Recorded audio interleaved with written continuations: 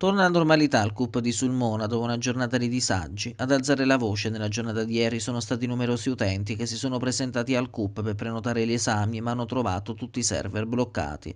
Un disagio che è stato risolto solo nella mattinata di oggi quando la situazione, seppur a rilento, è tornata nella normalità.